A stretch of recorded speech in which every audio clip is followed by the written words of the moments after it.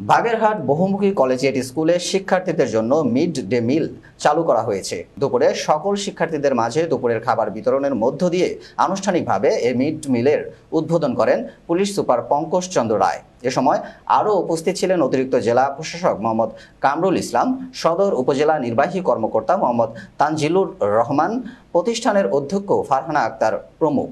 শিক্ষার্থীদের শারীরিকভাবে সুস্থ রাখতে এ উদ্যোগ চালু করা হয়েছে।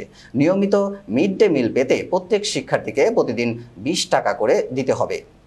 উপজেলা আহ, অঙ্গীকার সেটা হলো বাচ্চারা যাতে আহ, তাদের পুষ্টিমান ঠিক তা আমি এই কার্যক্রমে শুভ উদ্বোধন তথা বিতর্কের কার্যক্রমে শুভ আমরা এখন বিতর্ক সবাইকে যারা সবাইকে